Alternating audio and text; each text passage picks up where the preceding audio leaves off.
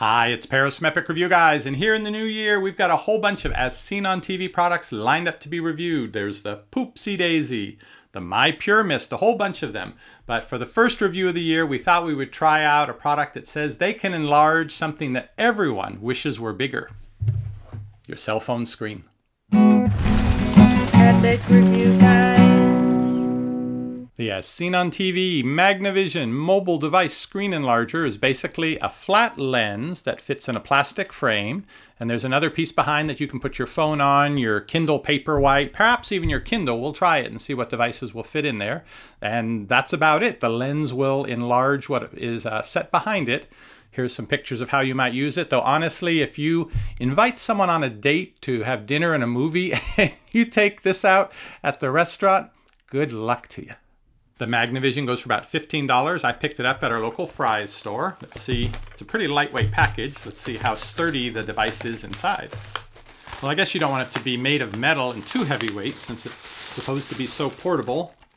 They don't give you any kind of a case to carry it around with you though. For those dates at the restaurant.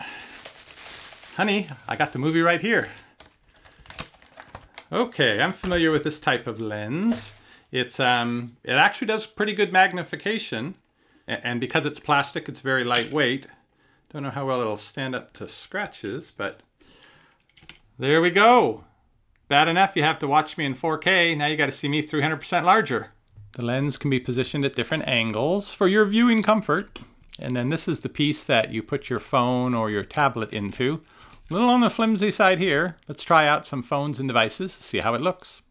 I've got a YouTube video loaded up on my Nexus 6P phone, 5.7 inch screen. I'm gonna plop it into place here, take a look, give you my impression of it, and then I'll bring the camera over so you can see. Okay.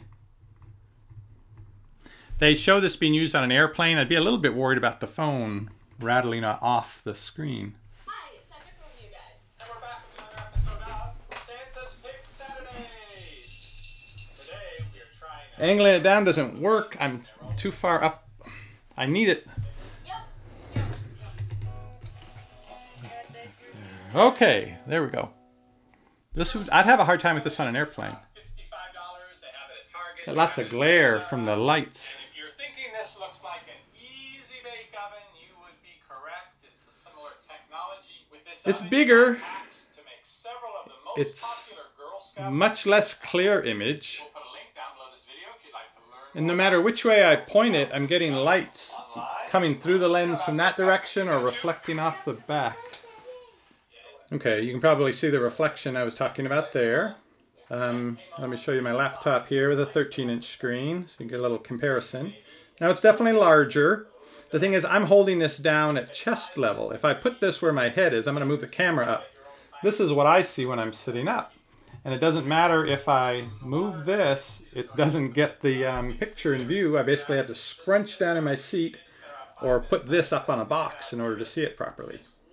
And for a comparison of the sharpness, here's my actual phone.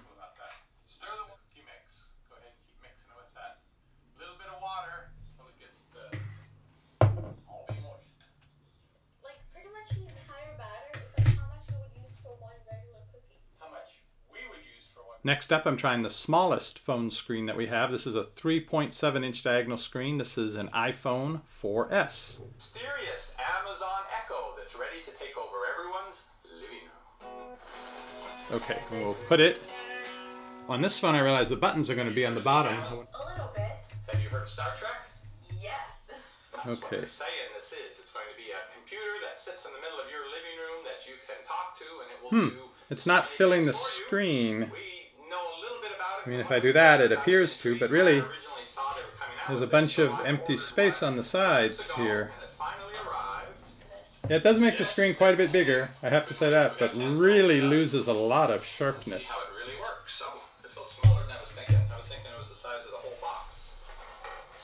Here's my Kindle Paperwhite. I think this is about a 6 inch diagonal screen, and um, it has its own lighting source inside. And of course, with this, you can make the text larger by going into settings, but let's see how it looks in here. Well, this top to bottom thing isn't going to work.